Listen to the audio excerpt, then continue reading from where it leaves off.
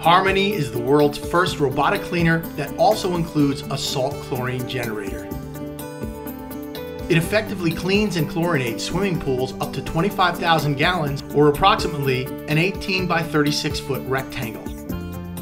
Pools are automatically scrubbed and vacuumed by the robot, including the floor, walls, and waterline.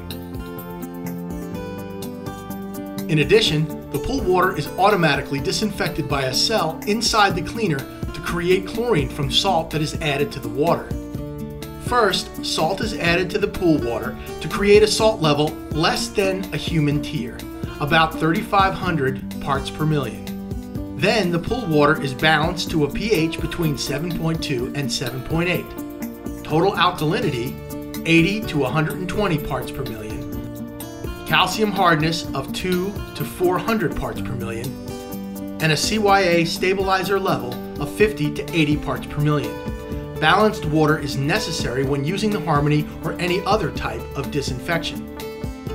Harmony is comprised of two components the robot itself, with a 60 foot floating cable, and a power supply.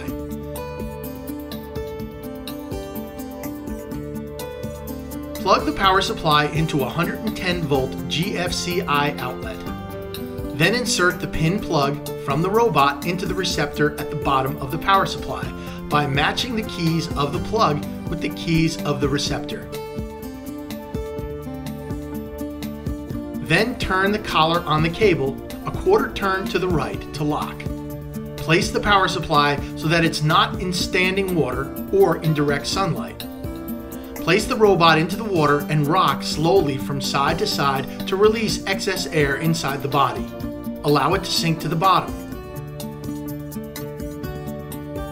Turn on the power supply so the on-off switch light is no longer blinking, but stays on continuously. Then press the mode button twice so the system is in the cleaner mode. After a minute, the cleaner will begin to automatically run for 90 minutes, cleaning the entire pool. Periodically, you'll notice the wheels hesitating or even stopping while turning. And this is a gyroscopic feature which allows the robot to calculate the dimensions of your pool. After 90 minutes, the system will default to the chlorination mode, which can run up to 21 hours a day. Usually it runs about 10 to 15 hours. In this mode, the cleaner stays in one location for an hour while it chlorinates and then moves to another location to chlorinate from there.